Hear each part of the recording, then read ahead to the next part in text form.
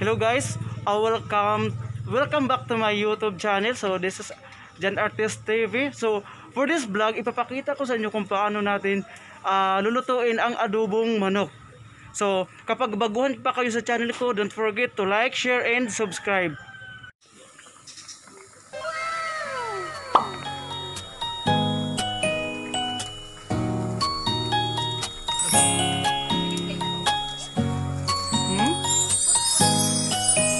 ¿no?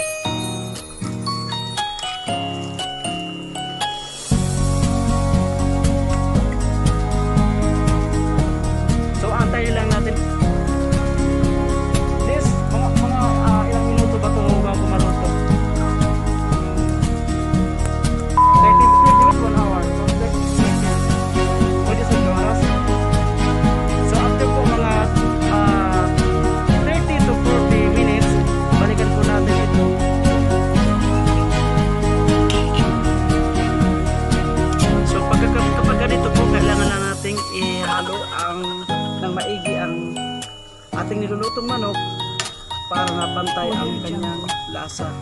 A few moments. Ah, sili.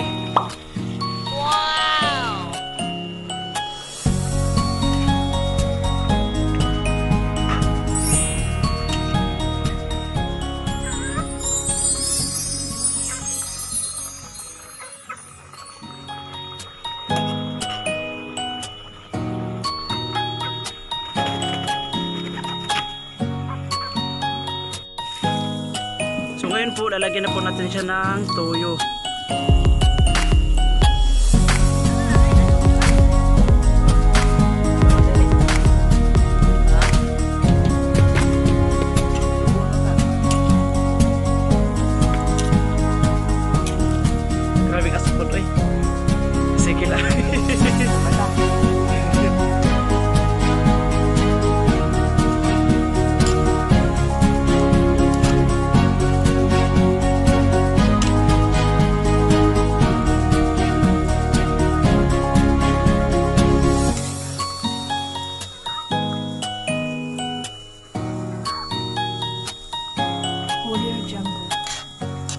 So mga ilang minuto na lang po, maluluto na po ang ating adobong manok.